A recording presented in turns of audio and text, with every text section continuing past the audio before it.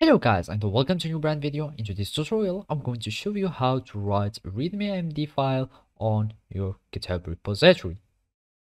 So the first thing to do is to open your web browser, either if it was Google Chrome, Mozilla Firefox, Microsoft Edge or any web browser that you are using.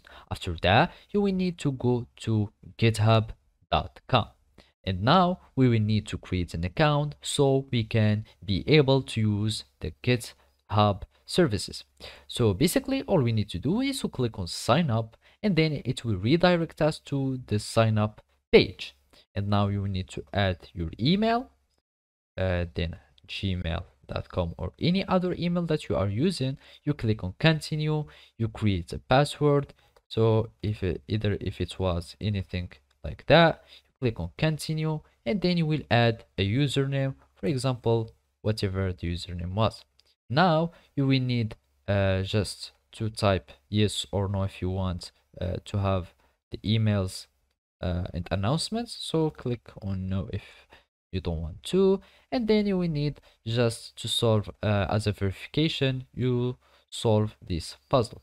So we start this puzzle identical objects we do like this and then you will do like that and then you will create an account so basically after you create account all you need to do is uh, to verify your email by having uh, copying the, co uh, the code that will be sent to your email and then you will just paste it here and you will be able to create a new account on github.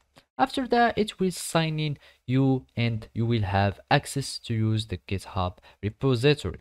And basically now all you need to do is to follow these simple steps so after you log into your account, you need just to go to repository and then here you will find your readme uh, file.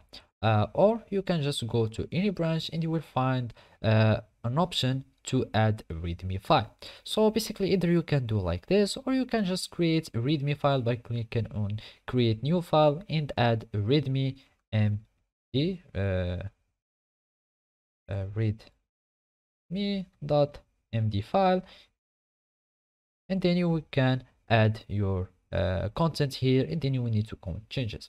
For the content of your readme file you can just use a chat gpt tool and uh, to help you to uh, write the readme file. After that you need to commit the changes and you commit directly to the branch and then you will have your readme md file that will be created successfully for your repository on github. So basically this is how you can do it. Thank you for watching and see you next time